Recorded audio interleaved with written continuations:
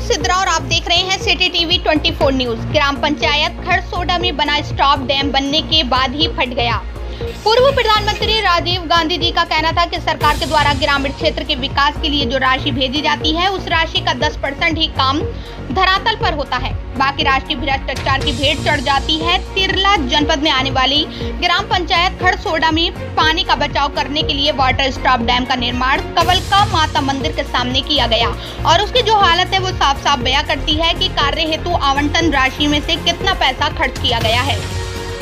ग्राम पंचायत के दो गाँव के मध्य स्थित स्टॉप डैम का निर्माण अभी कुछ समय पहले ही किया गया है। बारिश का पहला पानी भी नहीं गिरा और हालात ऐसी है तो बारिश में उस स्टॉप डैम की स्थिति क्या होगी?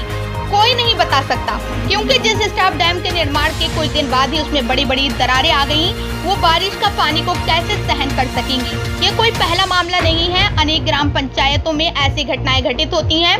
घटिया निर्माण सामग्री के उपयोग से विकास कार्यों की धज्जियाँ उड़ जाती हैं। और बदनामी सरकार के सिर चली जाती है। ग्रामीण जीवन लाल पाटीदार बताते हैं कि ये पुलिया निर्माण अभी कुछ समय पहले ही की गई है और इसमें बड़ी बड़ी दरारें आ गई हैं और पूरी तरह से ये फट चुकी है। अगर बारिश जोरदार होती है तो ये स्टॉप डैम भी बारिश के साथ बहकर चला जाएगा। धार से जिला ब्यूरो चीफ विमल लववंशी की विशेष रिपोर्ट।